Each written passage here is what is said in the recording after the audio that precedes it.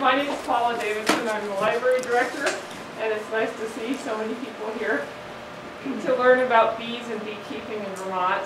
Um, we have had Bill Mares' book here at the library, um, but somehow it got lost, so I'm excited to get it back again. Um, and I see some of you came with your own copies, so we have some fans here. Uh, we're very happy to present this program, and I'd like to thank uh, Beth Meacham, who's a library trustee, and uh, set this up through the Vermont Humanities Council. I believe they're called Vermont Humanities now. Um, and also coordinated with Barr Hill Spirits to bring in Sophia Barcelona, who will be talking after Bill's talk. Um, so this is Bill Mares, um, and this, again, I, is a Vermont Humanities program. The Vermont Humanities sponsors book discussion programs, literacy programs, and lots of humanities events statewide.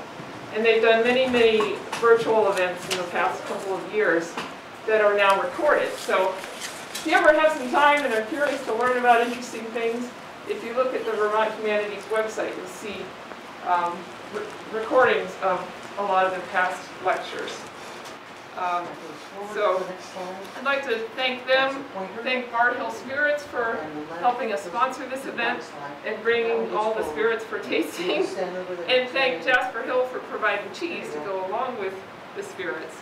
Uh, Also thanks to HCTV, uh, Hardwick Community Television, who is recording this event so that you can share it with other people. We'll share a link um, on our Facebook page and over Front Porch Forum.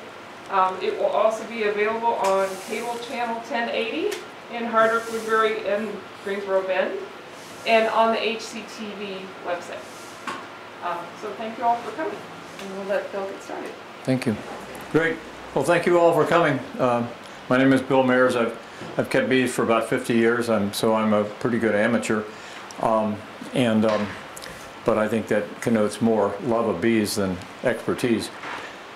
Um, I'm going to try to do this all in 30 minutes or 35 minutes, so I'm going to talk pretty fast. And, and if you can hold your questions till the end, um, that'd be great. Um, So here's a first a quote from uh, Jonathan Swift. We have rather chosen to fill our hives with honey and wax, thus furnishing mankind with two noblest of things, which are sweetness and light. And Mahatma Gandhi, all we need is to be industrious, not like a machine, but like the honeybee. Now, there are 20,000 species of bees worldwide. However, of that number, only about 400 are social. That is, they live together in colonies. The rest are solitary. Only four species produce enough honey to satisfy man's sweet tooth. Three of these species are native to Asia. The eastern honeybee, or Apis cerana, the giant honeybee, or Apis dorsata, and the dwarf bee, or Apis florea.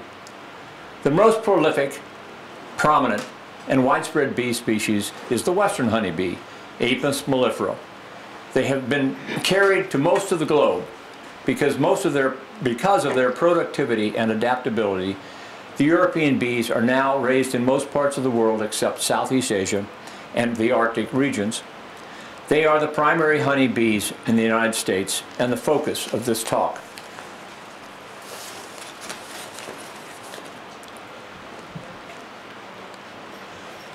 Over 50 million years ago, bees split off from the wasp suborder and switched from animal to plant protein. Bees and flowers co-evolved since flowering plants needed mobile pollinators to procreate and bees needed the protein. The first age, first history, we try to break the beekeeping history into four rough ages of differing uh, lengths. And the first age is that of honey gathering, covers those dim eons of time after man first tasted honey and bee stings first lanced human flesh. Neolithic humans, by the way, this is me cutting down a wild swarm in Burlington. Uh, and take note of the, uh, the, the black between the yellow, okay? Those are bees, and there's a reason why those are separated that way. Okay, these you can, uh, I'm going to go on and read this, but these are interesting facts that you can read for yourself. You can read faster than I can talk. You can take them away and impress your friends. So the first age is the Neolithic period, um, when humans discovered that keen eyesight, patient tracking, and brave climbing gained for the clan not just sweet, sweet savor and energy, but added nutrients from the bee brood or the eggs themselves. I'll just show you. Um, they also learned that smoke, not fire, was the divine tool for those who would calm the bees and take their honey. We'll never know, of course, but it's fun to imagine innumerable scenes in forests, swamps, deserts, and steppes where Aboriginal peoples first dipped their fingers into the hexagonal combs and withdrew the golden sweetness of honey. Did they sit down and eat the bees, comb, brood, honey, and all? Who first hit upon the idea of capturing bees and then releasing them one by one to launch a beeline to their home hive? Who first failed to clean a container of honey only to come back in a few weeks and find that rainwater had transformed the dregs into intoxicating mead? Some of the direct evidence of human, human search for honey comes from cave paintings in Spain, up on the upper left. This one scene from Barranco Fondo in Castellon in eastern Spain shows a man climbing a rope ladder towards a bee nest, and around them fly bees large as dogs. And in Egypt, which was really the first, kind of the first of the second age of bees where beekeepers began, or people began to keep bees instead of being in this stasis with bees in the wild. And so starting probably 4,000 years ago, the Egyptians would make pottery hives and put them on ships, boats, and float up and down the Nile to capture different floral sources with the seasons. this is just a wonderful outlayer. This is a, a uh, Cretan uh, gold pendant obviously using the bee as the um, image.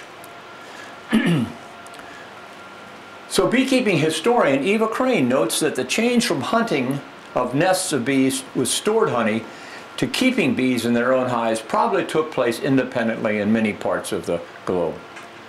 It could well have been occasioned by a swarm settling in an empty basket or tub left upside down, or a pot lying on its side or a hollow log with bees inside could have been carried home to what was later called an apiary. This cannot be called domestication because the bee's natural healthy instinct was to grow, divide, and swarm.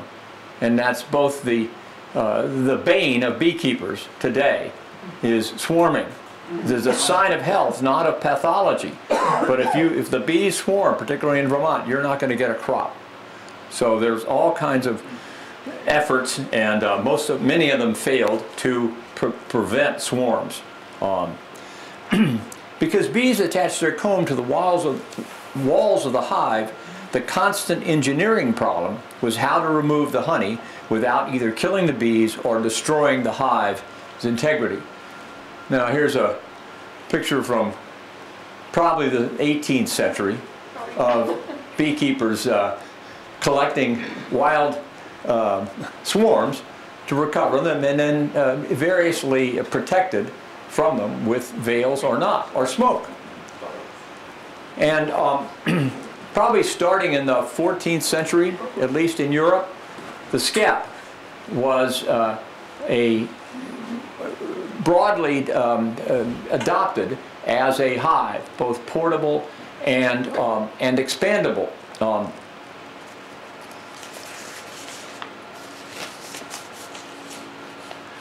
in the forests of northern and eastern Europe, honey hunting and then beekeeping took a different turn from that around uh, the Mediterranean.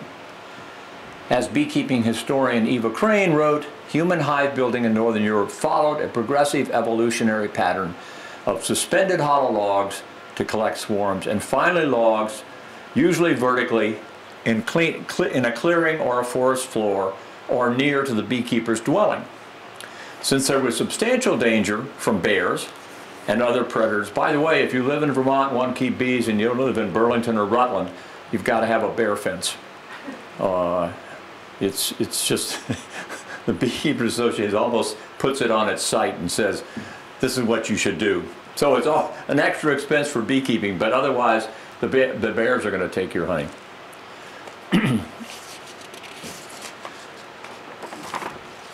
In Central Europe, uh, beekeeping got a, a big um, boost from the spread of Christianity because the church's need for candles.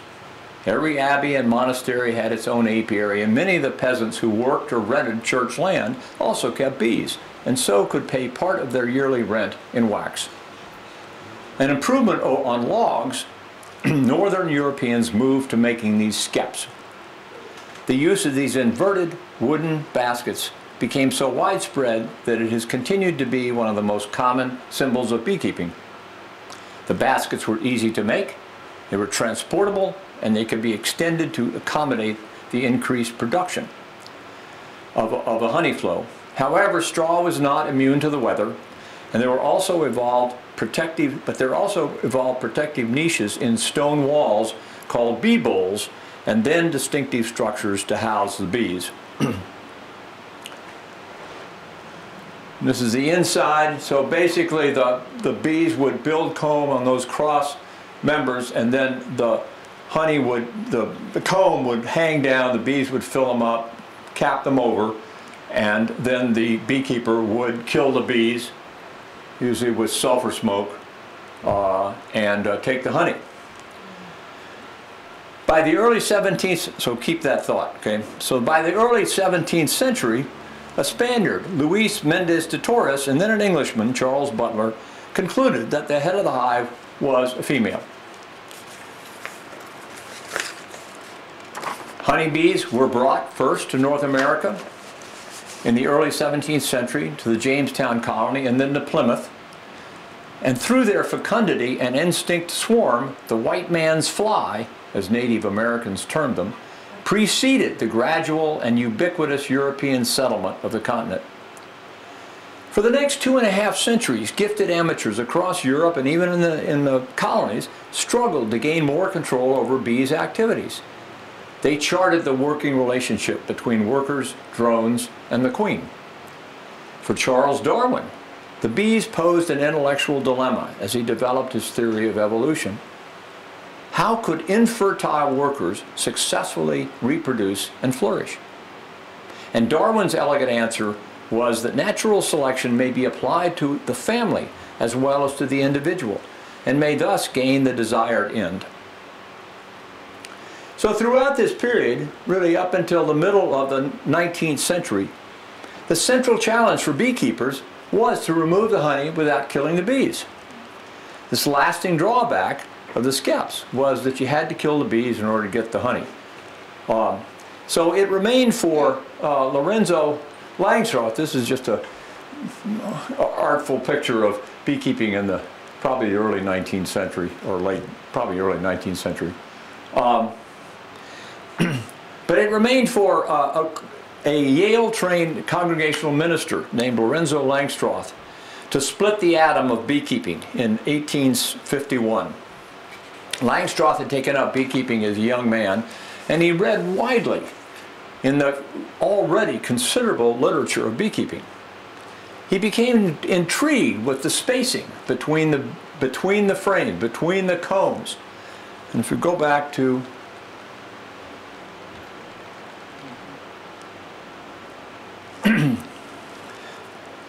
And he came up with a counterintuitive idea of giving bees more room in which to work. And in his 1851 diary, he recorded a eureka moment.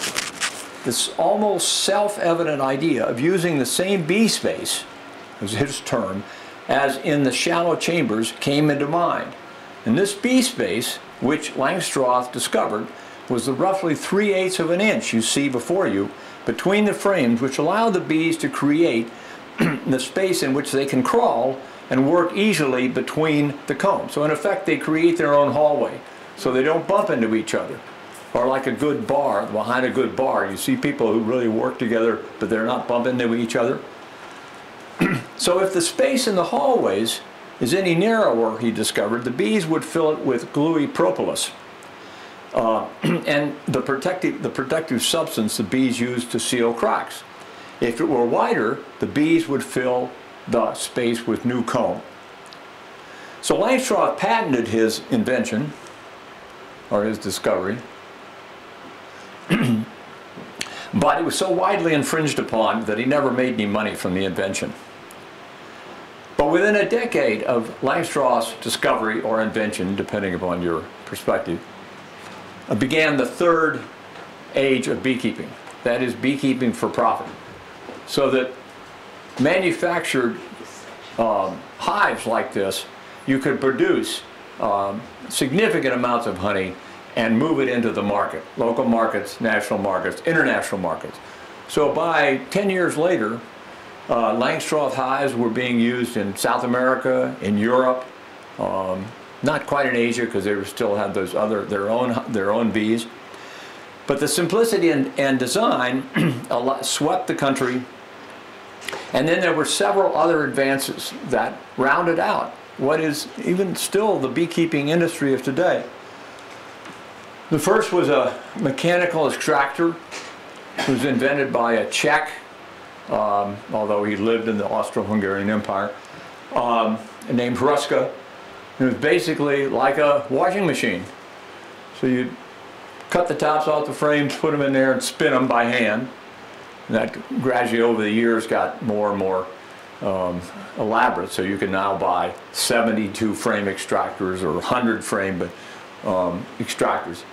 But that allowed the beekeeper to extract and then run the honey through a filter a lot easier than doing it by hand. Uh, second invention, um, or third invention, was a smoker. And uh, the important things about smokers was that bees communicate um, to a large extent by smell, by pheromones, inside a dark hive. And what the smoke did was allow the beekeeper to uh, suppress the alarm pheromone, the alarm smell that bees emit when they're threatened in some way. And so any beekeeper, well, any, if you're around beekeepers they don't use smoke, avoid them. I mean, it's, it's just stupid. It's a, it's a stupid macho trick. And um, so this, you know, simple uh, smoker by this guy somewhere in, in the middle of New York, and then it became, of course, used all around the, around the world. um, then also a, a, hive tool, and then people said, well, yeah, we've got to manufacture veils, because even so, if you're going to be working with bees, you don't want to get stung in the eye. So accompanying this clutch of mechanical advances was a desire to improve the bee's genetic stock. Beekeepers now saw the economic weakness of the original German black bee, which was brought here in the 17th century, which was more susceptible to disease and also more aggressive or defensive, depending upon how your, your perspective. So Americans went in search of better bees and found them in Western and Eastern Europe. The first import was the Italian bee, Apis mellifera ligustica. Probably still the most popular bee race of bees, calm, gentle, productive, and slow to swarm. However, they were susceptible to some of the diseases and, and um, pests, pests of today. So then people went to what is now Slovenia to, uh, to uh, get uh, carniolans. Uh, Carniola is another, I think it's Latin name for that area. Um, and they have been brought back and used in um, hybrid form. And um, in the 20th century, there, there have been bees brought from um, a Catholic abbey in uh, England called Buckfast Abbey, and also from, um, um, well, this is what a modern extractor looks like. Uh, and and then uh, lately, I mean, the most interesting one of imports is some Russian, what are now called Russian queens, which came from Siberia. And uh, they, they were hybridized because they were the, it was from an area which the longest interdigitation between Apis mellifera and Apis cerana, which I'll get come back to in a discussion about varroa mites. But in any case, so today, just think about what are bees worth to you? What are they worth to society? What are they worth to the economy? So the American honey produced in America now might be worth 300, 350 million dollars. The value of bees for pollination is about 25 billion. And uh, these are the principal um, crops that are pollinated by bees for hire. And so, for example, um, in January, 80 to 90 percent of all the bees in the United States were in California pollinating almonds. And they got there on semi-trailer trucks. So that's 2 million hives go to California. Um, and um, so again, you can read these faster than I can. Uh, but uh, just remember this disparity, but also think about how long this model can work of having the these bees put on trucks and go they go to so they go to apples in Michigan, they go to blueberries in Maine, they go to oranges in Florida, but almonds are the big one. And what is California? California is you know in a permanent drought. Uh, and uh, what are almonds? This is airline finger food. Uh, I mean that's a little cynical, but but it's it's um, but these are the guys that pay really they run the industry on which I am dependent as a very small time beekeeper because they're they're doing the paying for the helping to pay for the research. They're paying for the the infrastructure of this industry. Um, and as if that wasn't enough um, there's a number of of um, challenges to beekeeping that have been around. Some have been around for over 100 years, American foul brood being one of them. Um, and another is the um, arrival of a pest, the pest of the Asian honeybee, Apis cerana, which arrived in the 80s and still is public enemy number one for beekeepers in the United States, really beekeepers in the world. Um, and um, I don't know if you remember, this is what, 16 years ago, uh, disappearing bees, people talk about CC, what's happening, it made beekeepers the center of everybody's attention because you, you always get people saying, what's happening with the bees, how are your bees doing? So it was great for us, we didn't have any better answer, but at least we got attention from, from people. Um, and I have to, how many, how many of you do remember CCD? People talking about what was happening to the bees? Okay, well, there's this. I got this great thing to read to you. I could do.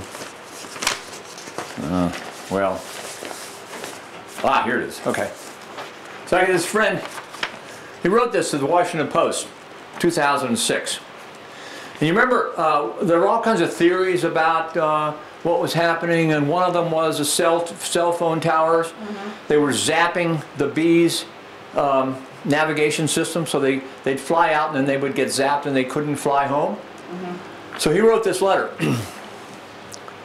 he says, Are cell phones killing our bees? I never let my bees use cell phones. They are social insects, and I have found that once I let them have cell phones, it's impossible to control their use. The charges from time overruns can bankrupt even the most efficient apiary operation. Once they learn to use them, they become dependent. They stop returning to the hive to dance and just phone in the location of their forage discoveries. Furthermore, the increased peer peer-to-peer communication plays havoc with traditional bee values. To heck with pheromones, they say. Chemical communication is passe compared to digital. As in many societies, the young are the early adopters, spending their time text messaging instead of doing their jobs. To the end, to, to, to, in, the end, they, they, we observe a breakdown in hierarchy and, fatally, anti-royalist sentiment. This then is the cause of CCD.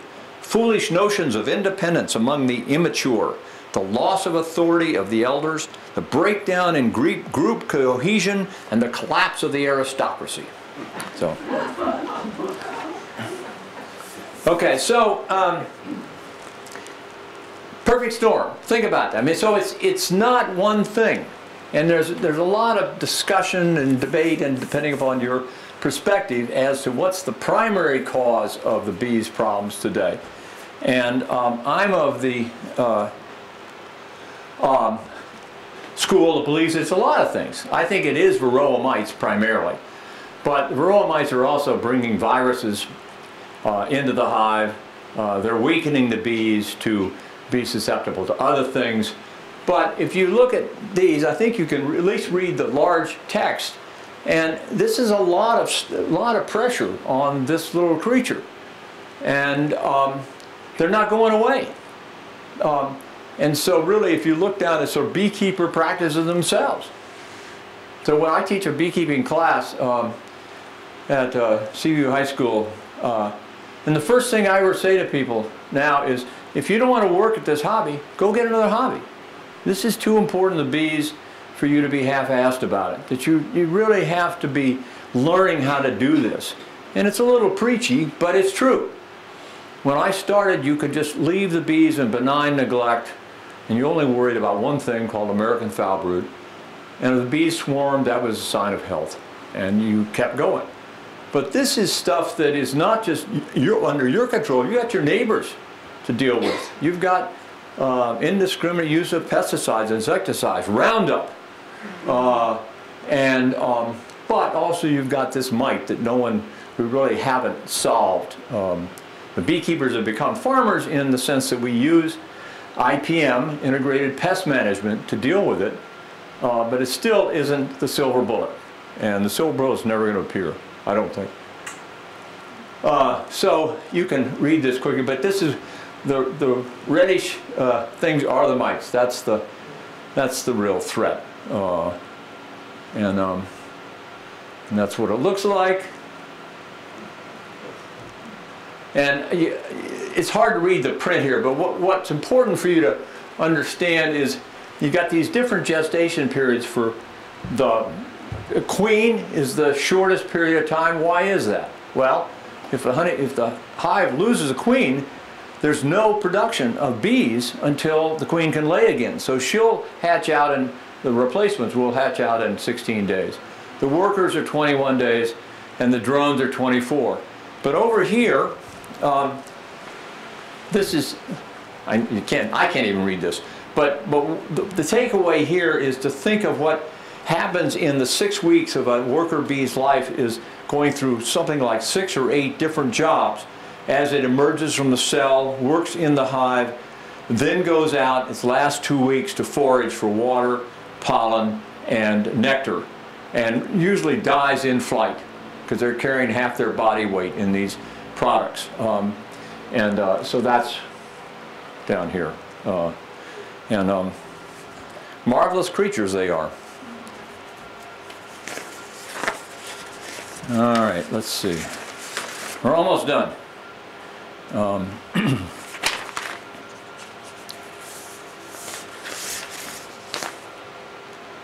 uh, these are just some pictures I've taken. This is China. They're actually feeding sugar water to these hives because they probably were short on nectar. Uh, this was, uh, these were the meanest bees I ever encountered. On a scale of 10, they were 11s. Um, but it was bad beekeeping. It wasn't the bees themselves. These were Africanized or killer bees, but people in you know Mexico they know how to work. There's they're also Africanized bees, but look at how pacific they are. Everybody's cool and laid back. Uh, imagine having 35 or 40 hives on your back porch. It says, Manuel Hirachi and his partner in beekeeping, the donkey Boneco, they keep bees in the savanna of Brazil known as El Cerrado. Um, well, Brazil is important because in 1956 there was a biologist um, who thought he would increase the productivity of, of uh, Brazilian bees. So he went to Africa and brought back some queens and then the story gets hazy. He claims they got out and started uh, causing havoc all around South America and killing animals and people and stuff.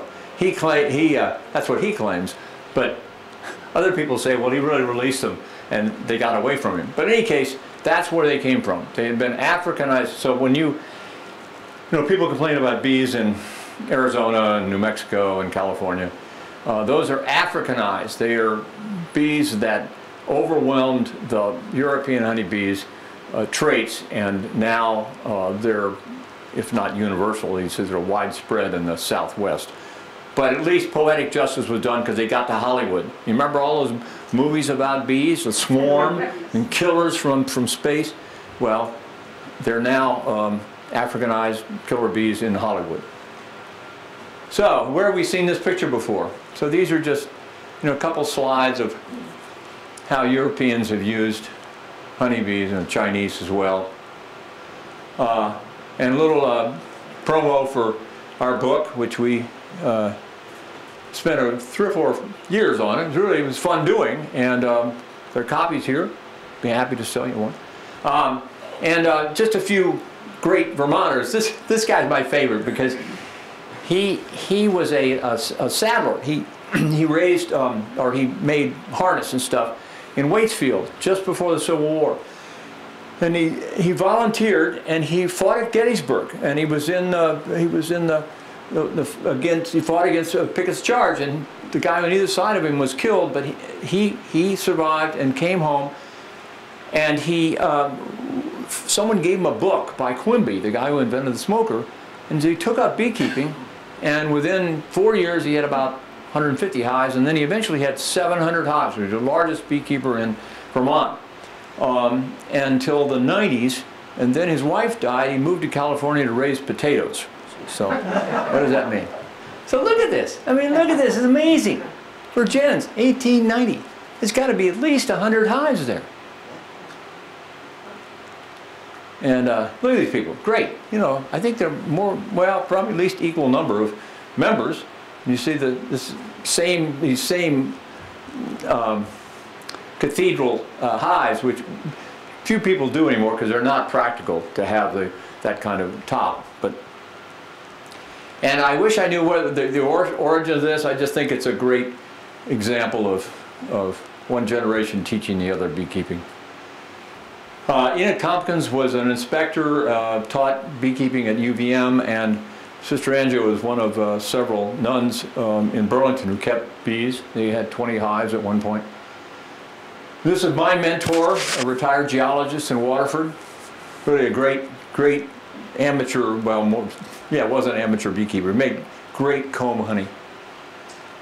Uh, former state inspector, just nice picture. Uh, remember all pollinators. You know, that's, that's my last kind of takeaway. And this guy, Buxman, uh, said once in sotto voce at a beekeeping conference, I hate honeybees. Uh, but but the, the message is, you know, protect all. I mean, it's, we don't want an internecine battle between the bee, honeybees and others. I mean, the, the tent is all of us. Uh, so I, although my talk's about honeybees, um, just remember the other pollinators. Questions? Yeah. How does the varroa mite get introduced to the hive initially? Well, it came over probably, uh, But, well, so I have a hive, Yeah. and I'm in a rural setting, yeah, That's just one hive. yeah. How would a varroa mite get into my, Well, it'd come from another hive. You have another, other bees within two miles. so they'll like bump up against each other? Oh, right on their back, they'll piggyback on a, But it's when called- bees are out on a flower, they're gonna like bump with another bee yeah, yeah. So the, the mites are either, they're, they're usually, um, um, the female goes and lays eggs inside a, usually a drone cell. And then when they come out, they ride around on the backs of other bees. They're called the phoretic mites. And then they, if you bump up against another, they, they'll, they'll come and they'll look for a, look for a place to go. And there are enough of them out there that almost everybody's going to get them. So you can't say, well, just because I'm out in the middle of nowhere, I'm going to be, you're a little safer, but I wouldn't take that to the bank. So how do you treat for varroa all Come and take our class. Okay. Okay. Yeah, What's the connection between the bees and the gin? I'm sorry? What's the connection between the bees and the gin? And I didn't make this connection. You, uh, that's above my pay grade. We'll Uh, get there. Yeah, She's going to talk about that. Yes. Do the African bees also produce honey? Yes, they do. Yeah, I've been working with a group to uh, help beekeeping and uh, beekeepers in Central America, and all of the all the bees are Africanized. Uh, but if you do it right, they're they're actually um, they're probably not as, as productive because they they tend to swarm a little bit more, but they're they're more aggressive in protecting against mites, and and um, so you know it's a it's a trade-off. But they have learned after having their whole industry collapse 30 years ago when the Africanized bees came through, they've now are starting to restore that um, in certain places. And you know the, the way they, I don't know if you can remember the, the contrast between the ones in Panama and the other one. This is the way you set the hives up. You only have one one box, um, and you take the honey off quickly, and you don't bang them around. And but yeah, they're they're making they're making honey and selling it both in country and outside. Yeah. Why are they called Africanized bees? Well, because they are bees that were here.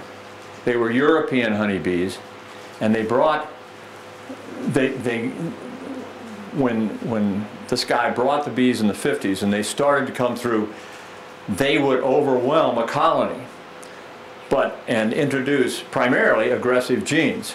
So, but the, that meant that the local bees were Africanized by originally by the, the bees brought from Africa, but not wholly. So it, it's really a it's a definitional um, description of of these bees because they're no longer entirely European bees, but they're not Sahelian bees um, as they would have been originally. So they are Africanized.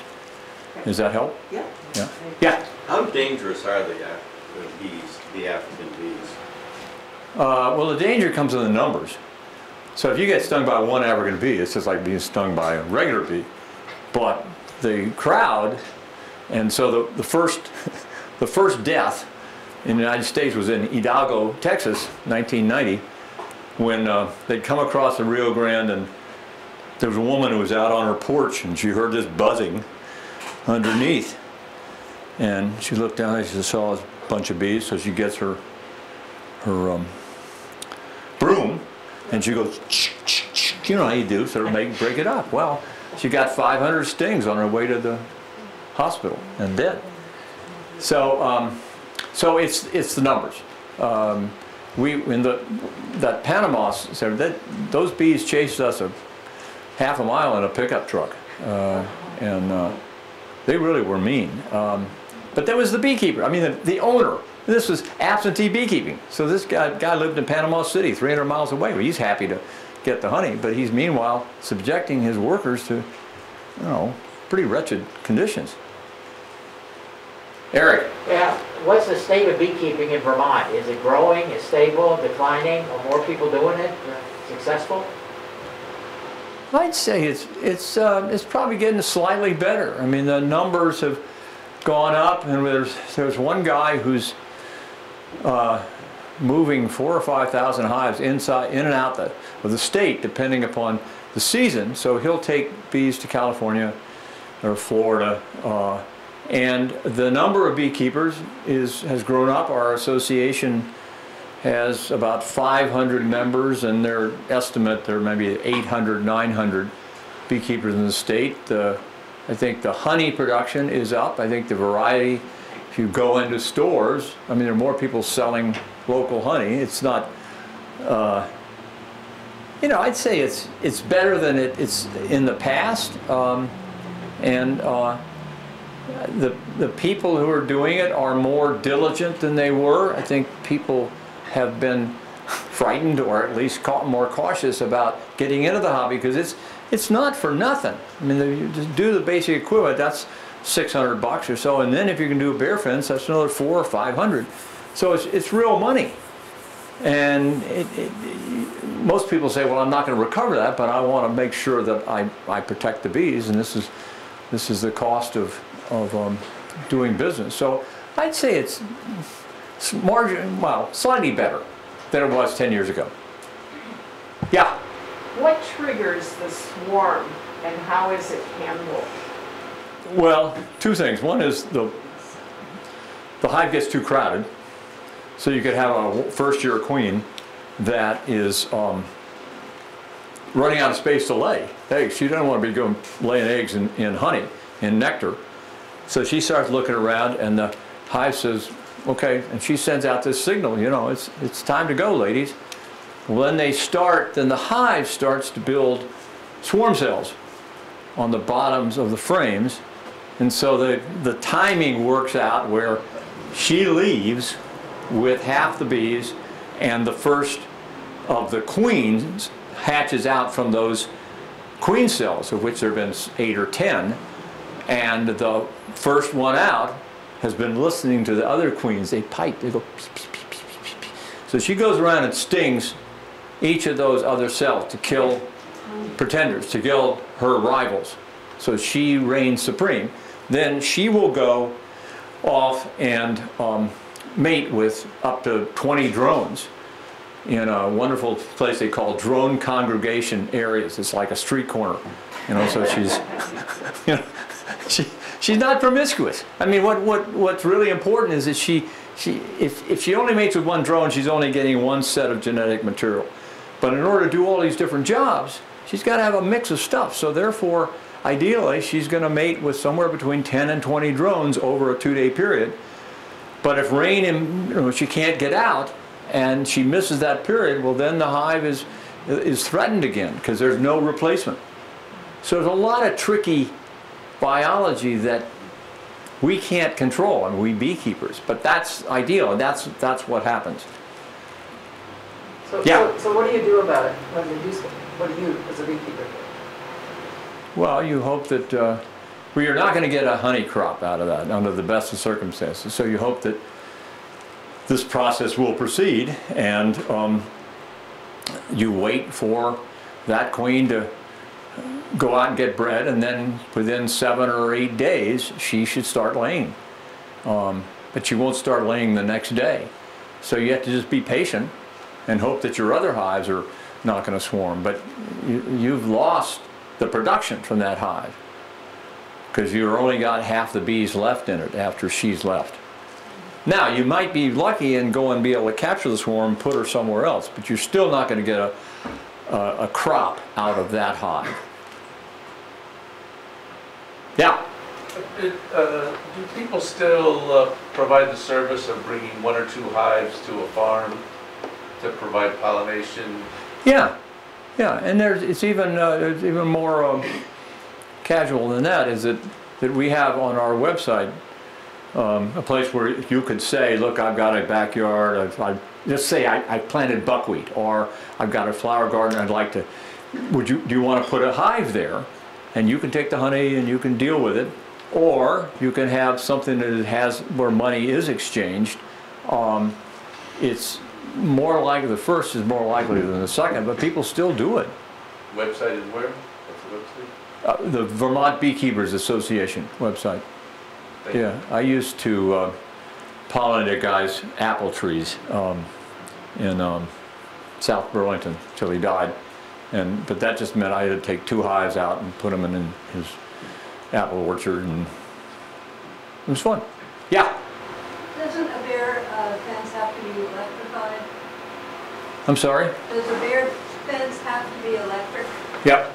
that's what I'm saying. Well, I mean, unless it's chain link and, and, uh, but, which is a lot more expensive than the electric. Um, yeah, but almost all of them are electric that I know about. Yeah, What's the lifespan of the queen? well, it used to be maybe four or five years if, um, but it's just decreased over the last 30 years and now I replace my queens every year. um, because I, I just think that they're stronger, they're less prone to swarm, and um, I'm trying to get the maximum amount of honey early in the season. Um, other people, it used to be, well, even some, some people will take pride in saying, well, I got a three-year-old queen or a four-year-old queen. Um, different strokes. What, what was the chart you had up that made it look like the queen lived 20 days? Oh, the life of the honeybee family.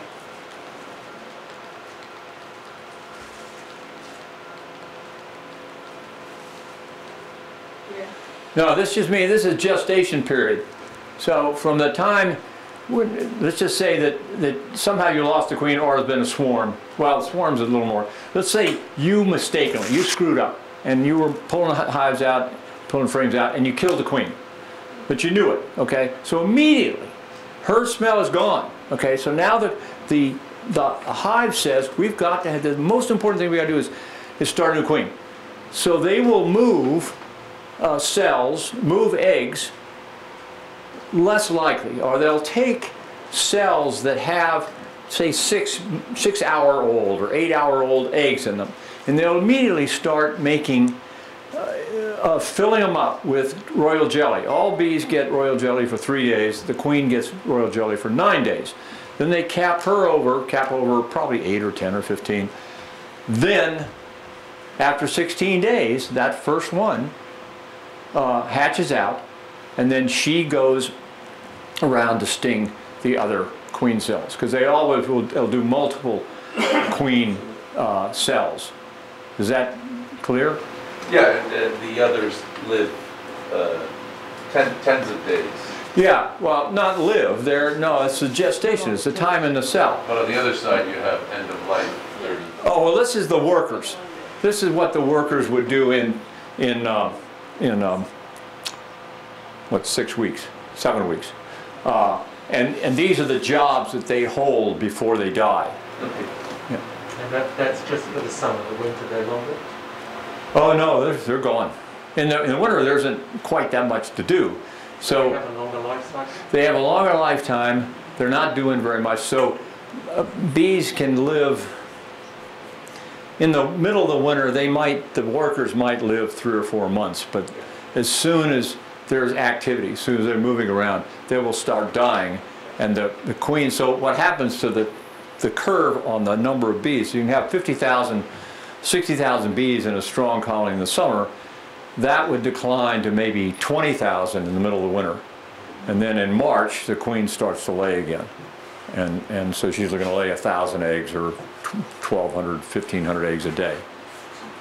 Uh, Yeah, So the, you said the queen stings the other potential rival queen. yeah. I always thought a bee could only sting once and then it died. Queen, queen doesn't have barbs on her, on her stinger. so it won't fall. She's the only one. So it's a rapier and it just goes in and kills them. And And then is the maiden flight for the queen just once in her lifetime or is it once at the start of the season? No, it's many times. It's, I mean, it's, it's 15 or 20 times ideally. But she goes out to the street corner Yeah. this drone congregation area several times, several days. So she'll go out and fly through it, and uh, and she mates in flight. The male dies, and then she'll keep going, come back, go back. She spends a lot of time on street corner. Is that enough eggs for five Pardon? years? What? Then she can lay enough eggs for like the next five years? Oh, yeah, she'll get uh, enough. Uh, she'll get enough sperm for eight million eggs. That's amazing. I know. A lot of amazing things about bees. Okay. One more, how, how do you introduce a, a new queen? You said you did it, you do it every year. Well, you, you, you buy them in cages. They come in a little box, and uh, it's got screen on top. It's got a sugar plug at one end, and then at the other end it's open, or it's got a, it's got a cork plug. And then you introduce that into a hive, and um, you hope and expect that the bees inside will gradually eat away the candy plug over three or four days. And they'll eat some of it because there's some extra bees inside and they'll, they'll eat from both ends of the tunnel. And then after three or four days, the queen's smell, scent, will have permeated the hive and they'll say she's a friendly. And so when she emerges, they don't immediately, what wonderful word, they won't ball the queen, which means they would all grab, they'd suffocate her. They, they'd grab and, and surround her. Um, and then there's a couple other techniques, but that's, that's been the, the same um, for 100 years, 150 years. Okay, thank you.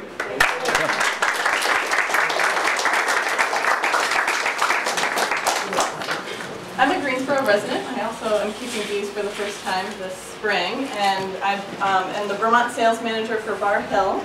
Uh, going on my 11th year, we got our distillery started in Caledonia. Yeah, Caledonia Spirits is our distillery that we started in Hardwick.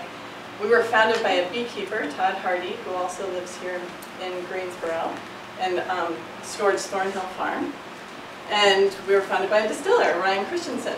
So Todd I describe as the Lorax, except he speaks for the bees, and he instilled within the culture of Caledonia Spirits um, inve- he- investment and uh, connection with our people, our place, our process, and our pollinators. So we do a lot with raw honey, working with raw honey. We distill it. We, well, we, first we make a mead and then distill that mead into vodka. So our, our Barr Hill vodka is distilled entirely from raw honey. No potato, no grain. Our gin is finished with raw honey, which delivers countless botanicals to our spirits. It's the number one selling gin in Vermont, and it's the most awarded gin that's domestically distilled in the United States. And then our Tom Cat gin is the classic gin, same distillate, except it then rests in oak barrels for six to nine months, and it emerges with a beautiful color, and it's a it's where gin meets bourbon.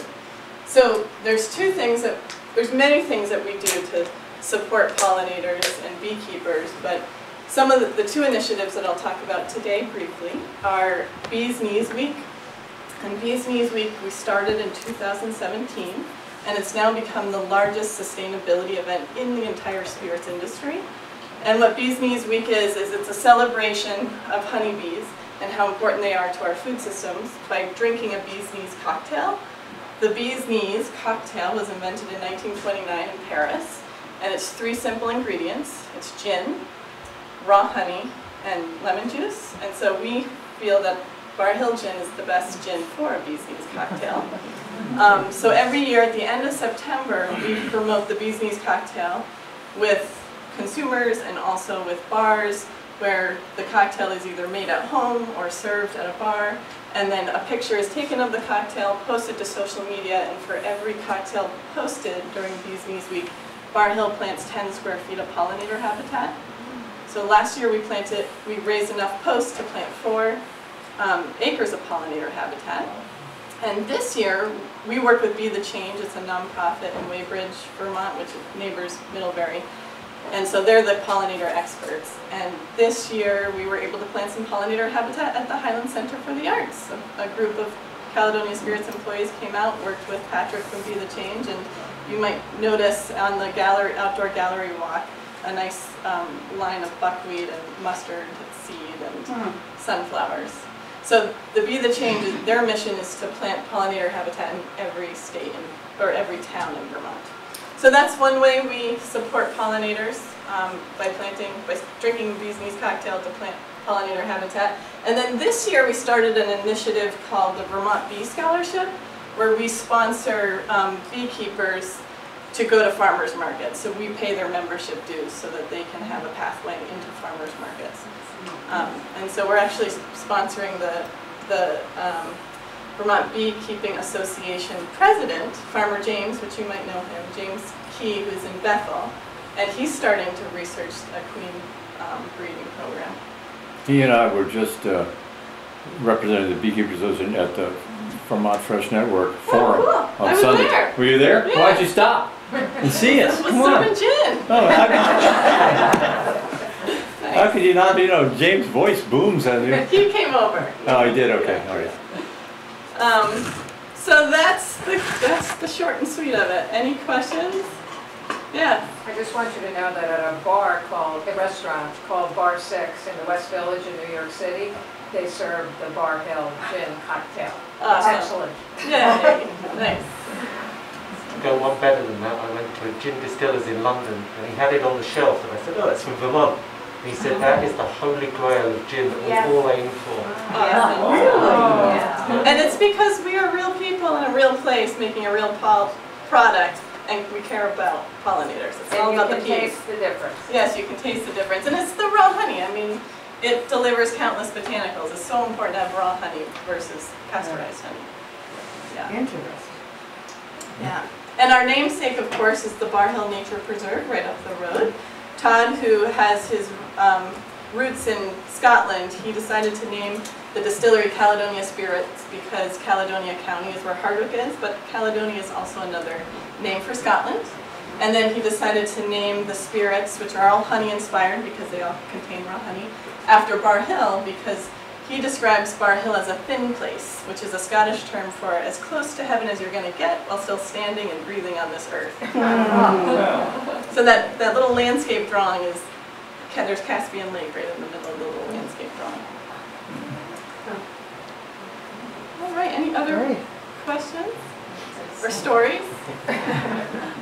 Yeah, Well, I have a story of a son who lives in San Francisco and he's crazy about Barr Hill Gin. So his one thing on his Christmas wish list was a t-shirt. okay. So I had to get one and send it to him. Now he wants one of those placards that he's seen in bars Oh, yeah. that you sell. Like a barrel head? Uh, there, there's something that they hang up in bars that he wants. Yes, I think it's the barrel head. I have a little one right here. Yeah, cool. You sell those? We, we, I believe we do sell the barrel heads at the distillery. Okay. Yeah. Yeah. Okay, should we have some cheese and?